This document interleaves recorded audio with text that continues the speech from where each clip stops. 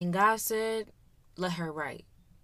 See, He could have given me any other gift, but He gave me the gift of words. The gift to express the feelings that oftentimes go unheard and lines were blurred in the making of me. He had to give me a little extra, call me a walking life's destiny. See, it's guaranteed. I was destined to succeed, and if you stay a little longer, might just give you a new read. And that fresh air that you breathe, just know that it was me.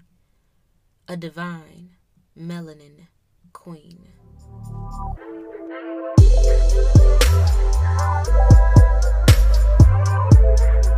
Hey, everybody, and welcome to the first episode of Her Black Hand, the podcast, where we talk about everything and everything goes. I am your host, Alexis Lawson, and I'm so happy that you have decided to kick it with me for the next hour or so.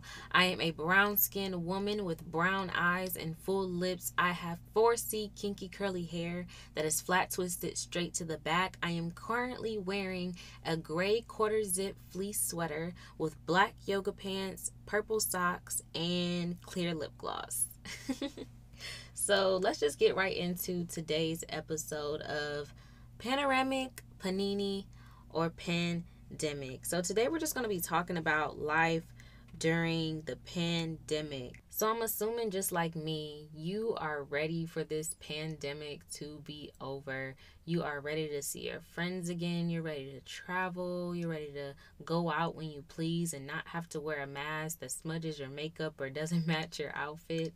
I am there with you. I think at the beginning of this pandemic, I didn't think that it was going to last as long as it did. I thought it was just going to be like a oh, little maybe a month in the house and then everything will be back to normal. But here we are almost a year after North Carolina shut it down. I'm pretty sure all of the other states in the US have shut down and we're still here.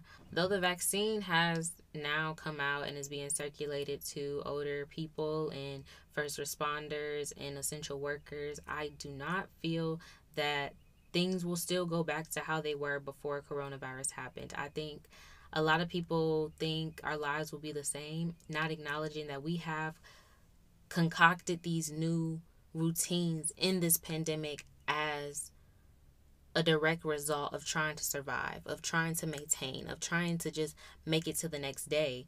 And I think a lot of us have had that mentality during this pandemic of I'm literally just trying to make it to the next day. I'm just trying to keep my family safe. I'm just trying to keep myself safe. And I think that's a blessing for all of us able able to sit here and listen to this podcast that I survived a year in a pandemic. I am healthy.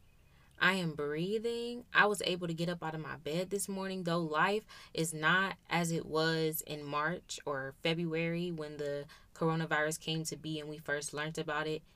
I'm still here and I have a life. And that's so much more than other people can say, especially for those who family members have died or friends have died or people who have simply contracted the virus and had to experience that.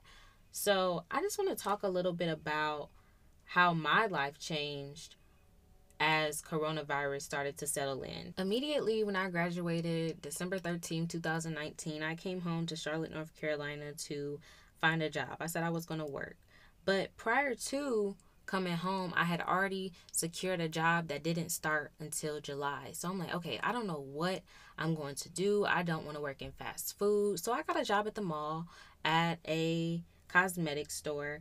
And it's not that I didn't like it, I just felt like that wasn't what I was going to do. I told myself that I worked so hard in college that, like, I'm going to take this next year that I didn't go to grad school and I'm going to just enjoy my life. And I just felt like working at retail, working those long and exhausting hours wasn't fulfilling what I had told myself that I was going to be doing. And so, though I had secured a job that started late in the year, in January, I was just like, I really want to do something that I love.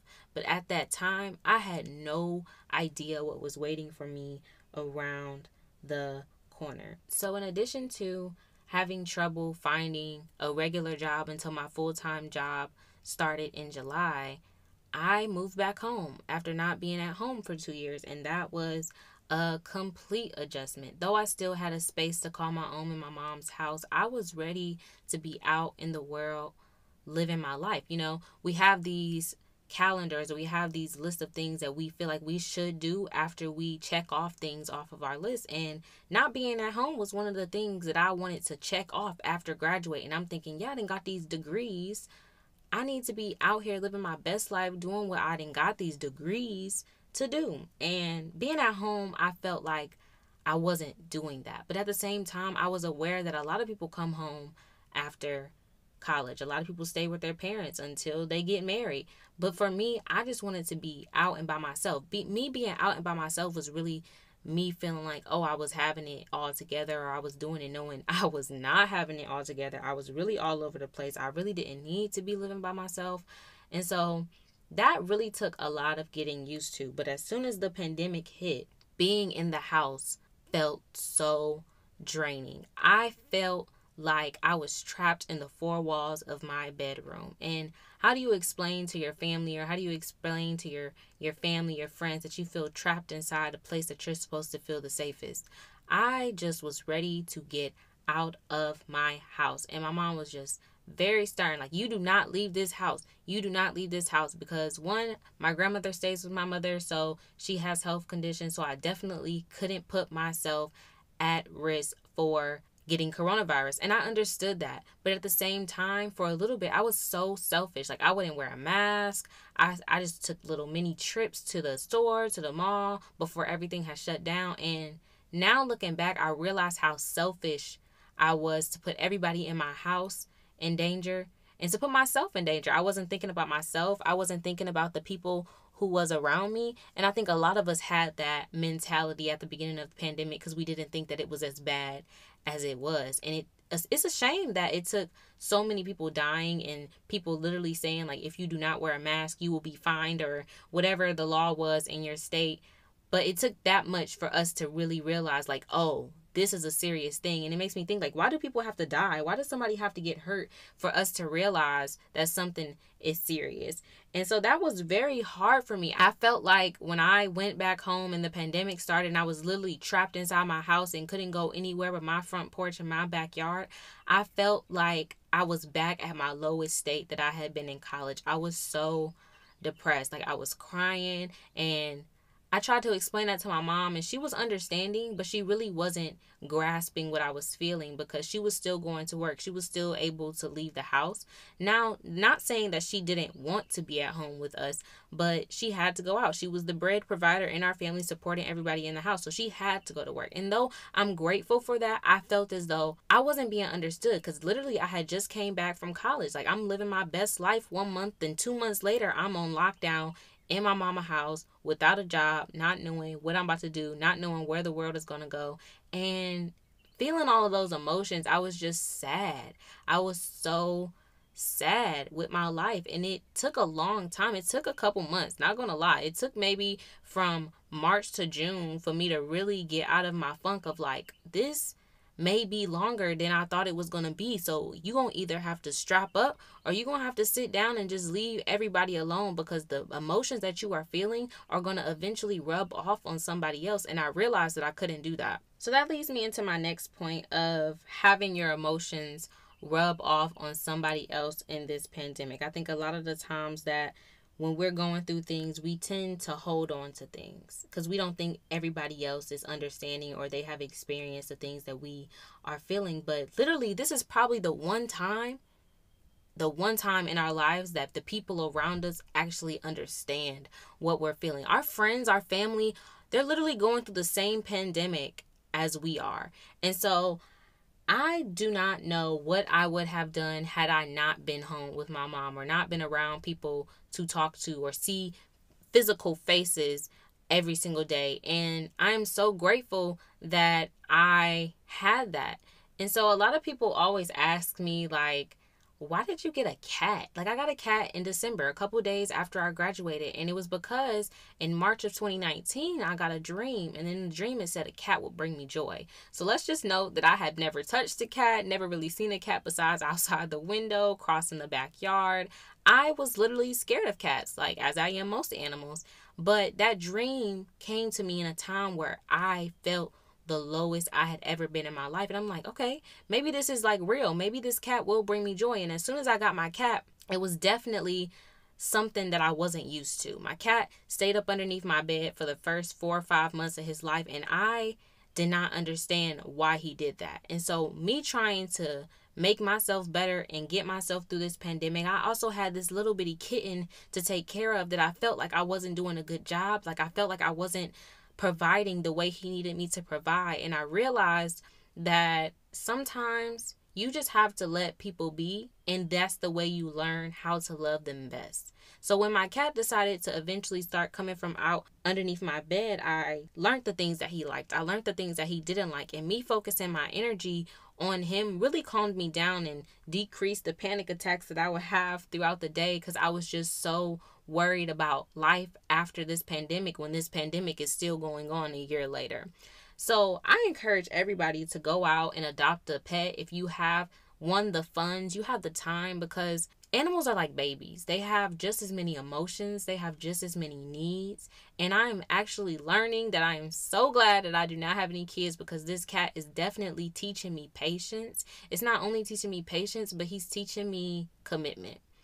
I think animals are definitely a commitment. He has taught me that I have to be patient with not only myself because this is my first pet besides having fish or furry animals that I didn't necessarily take care of. And he's teaching me how to just sit and just be appreciative because I think about how I found him in the shelter and he was in this little tiny cage with another black cat and the shelter had told me that this black cat had ran off. He ran off a couple days before I got there and they was searching and searching and searching. It took them forever to find this black cat. But here I was standing in line to see another cat and I saw my cat's piercing green eyes out the corner of my eye and hopped out of line and was like, I need to see this cat. The woman told me that the cat that I originally came to see had been sick and if I saw that cat I would no longer be able to see Eris who is now my cat and so I was like okay I'll just see Eris first and then I'll see the next cat but all the time that I was with the cat that I originally came to see, I wasn't thinking about him no more. That little green eye cat really caught my eye and caught my heart. Like it was saying, like, I need you. Like he needed me as much as I needed him in that moment. And for a while, I was just like, yeah, I got a pet. And in my head, I'm like, no, I got an emotional support animal. Like I have this desire to be around people and pour love into somebody. Like I like to feel needed, and Eris is definitely the animal to feel needed because he is probably the most needed thing I have ever experienced in my life. And so not only did he help me get through the beginning of the pandemic, he also helped me with this move that I had being my new job. So then July came and it was time to move to this new city that I had never been to besides driving through and start my new job all in the same day. Really in the span of like 2 days. I moved in and then I had a day break in between and then I started my new job. And so on paper, this job had been everything that I've been wanting, right where I thought that I should be to get me to the next point of where I wanted to go. And I was really holding on to that. That was my little push of getting me out of my funk, getting me ready to start new things in life. And it wasn't like that when I got there. And I was distraught. There was no people here. I had no friends. There's nothing to do. There's no black people here. And so I really felt like I was back at college being in Boone, North Carolina. There's barely any black people there. The only black people in Boone is the people who go to App State, and there's barely any black people there. So I'm like, oh my God. I left one city to go directly back to another one with a new name. What did I do? And so, what do you do when you then signed the contract or signed a lease that you can't get out of? You work the job. And so, still, I'm telling myself, okay, you are here for a reason, and in provision, you get purpose. So, I'm standing in this season of my life trying to find the purpose and trying to find my why in this job and I'm just struggling. I'm struggling because not only am I lonely, I don't have no friends here. I'm 2 hours away from my mama. I work more than I ever have. I'm exhausted and I'm just trying to find the light out of this situation that other people are begging for. I realized how ungrateful I was being unintentionally. I was unintentionally being ungrateful and not acknowledging that so many people had lost their jobs, lost their benefits. And here I am with a full time job telling me that even if we have to shut down, we will still pay you the amount that you need to be paid.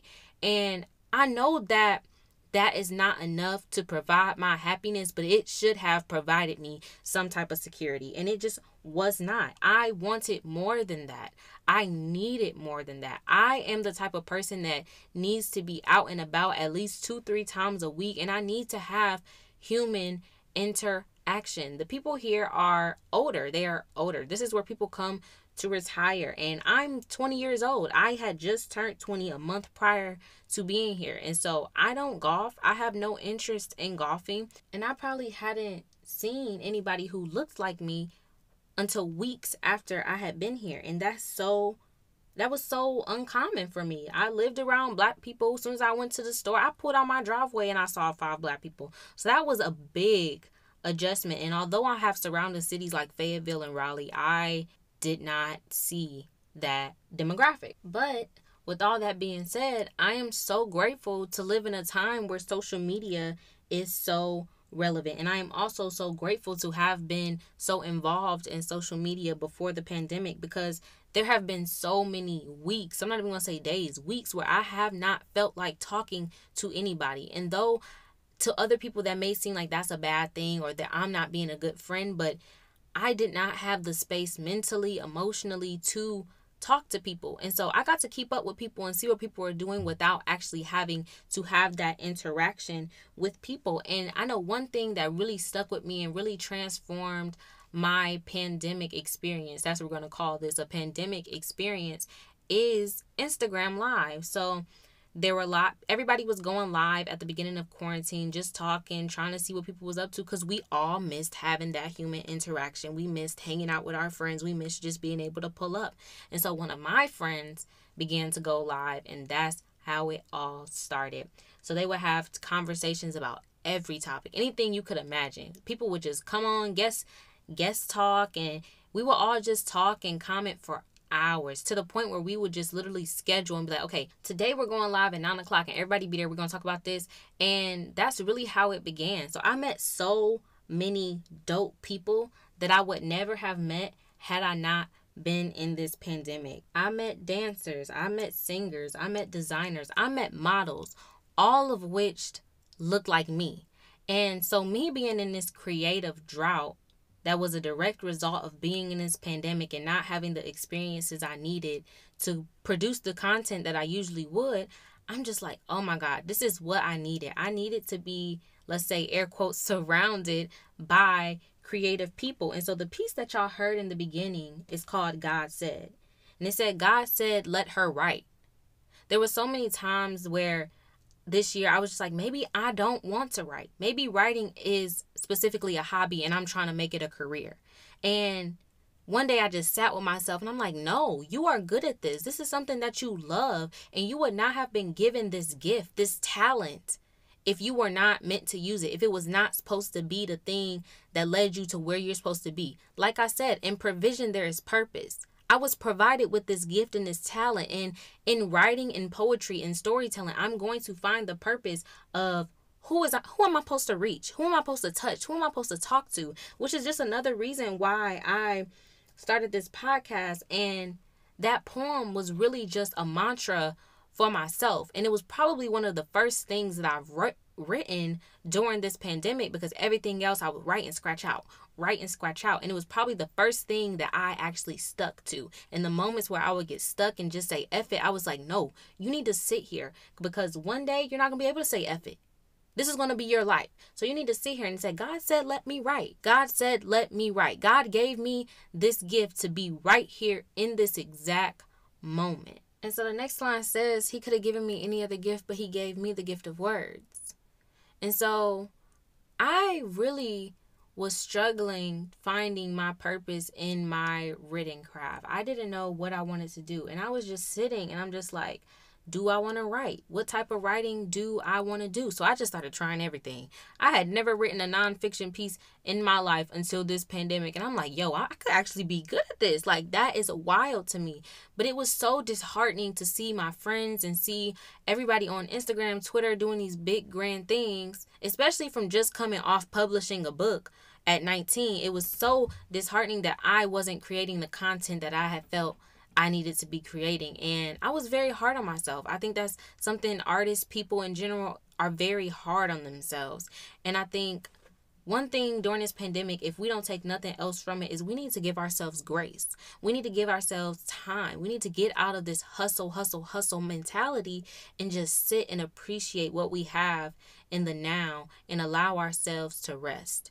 I think that's one thing that I really needed to do to produce what I wanted to do. And still, even to this day, there are weeks where I go without writing anything that I love, but I force myself at the end of the night to sit down and at least, if I don't do anything, write at least a 100 words. Even if I don't have anything constructive or creative to say, I don't care if I hit period a 100 times. That is a 100 characters on that sheet.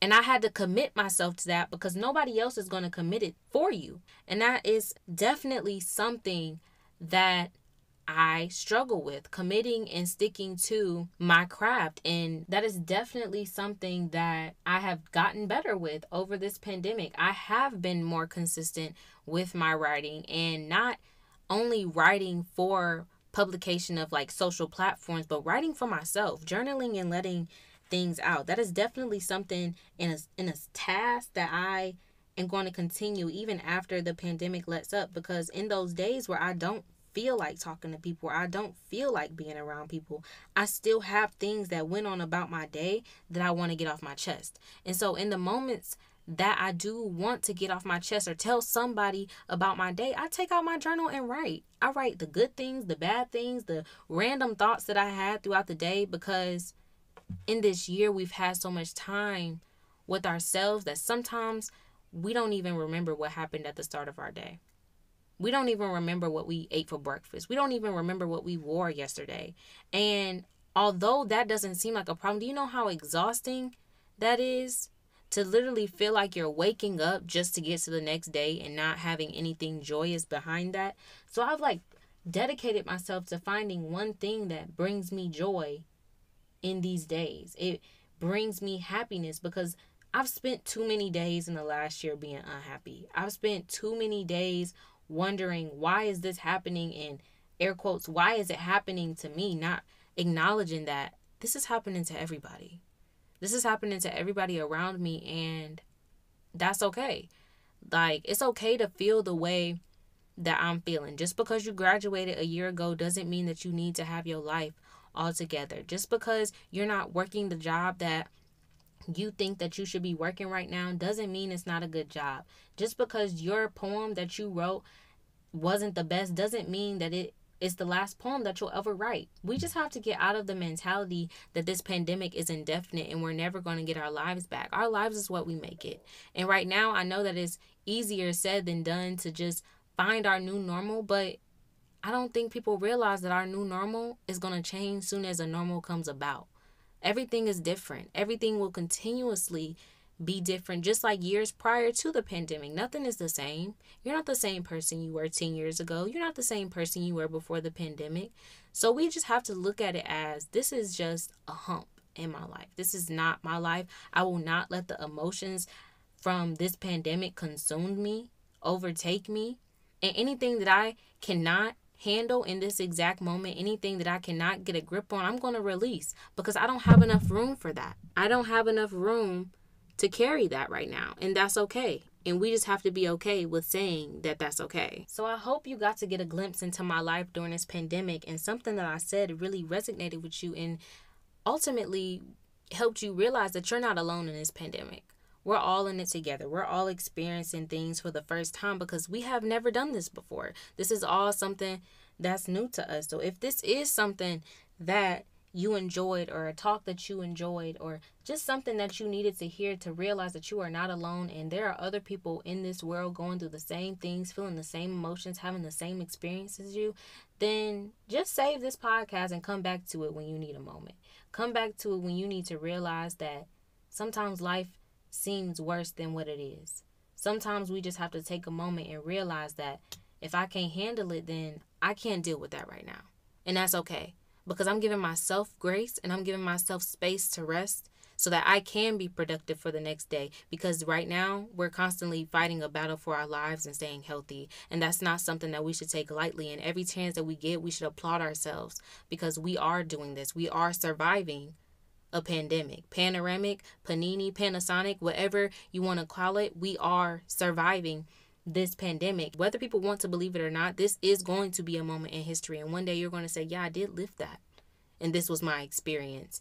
So if you are liking what this podcast is giving you and the vibes that we are having, then don't forget to hit that subscribe button as we exit today's episode so that you can be notified every time a new episode is released. We will be posting episodes every Tuesday.